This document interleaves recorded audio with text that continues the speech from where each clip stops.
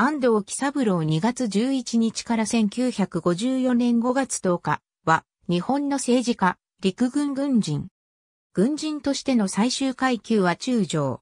太平洋戦争時の大西翼3会副総裁、国務大臣、内務大臣。戦後、永久戦犯として逮捕された。兵庫県に生まれ、篠山藩士、大鳥なる義塾長で歌人の安藤直樹の次男として生まれ、大鳥なる義塾中学を卒業。1899年、陸軍士官学校を卒業し、翌年、陸軍不評少尉となる。1901年、台湾守備不評第10代大夫となり、翌年、陸軍不評中尉となる。1904年、不評第10連隊中隊長となり、陸軍不評隊尉となる。1913年、陸軍不評少佐となる。1918年、アメリカ出張後、陸軍不評中佐となり帰国。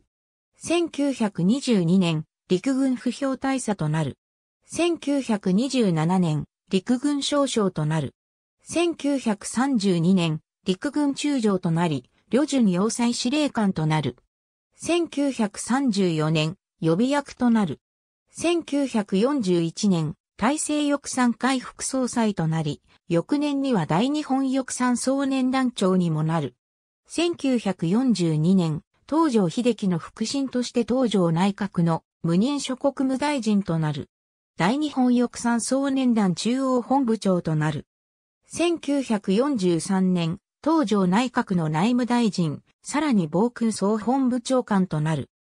1944年1月、第84回帝国議会で、陸士同期の衆議院議員塩天延子からのユダヤ人に関しての質問に対し、日本国は太古から人種差別国家であって、ユダヤ人差別にも反対しないと答えている。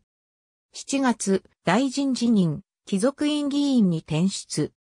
1945年12月、連合国より第三次戦犯指名され、永久戦犯として逮捕され収監。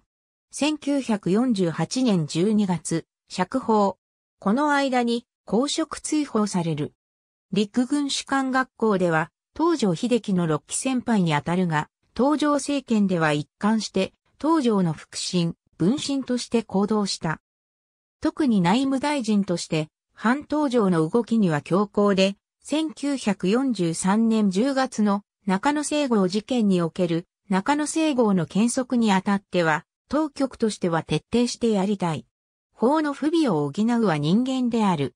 イワンや戦時中であると、衆議院議員の身分保障を超えて行う強い姿勢を示した。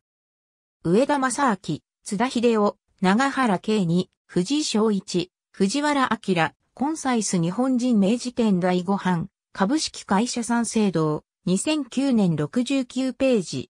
兵道28、近代未満の軍人たち使用処方光人、茶2009年11月 P159、朝日新聞1946年2月10日一面。官報第5309号、除任及び、事例1944年9月22日。証言ドキュメンタリー登場を倒せ戦時下幻の、頭角運動、中野聖号と、東方会。ありがとうございます。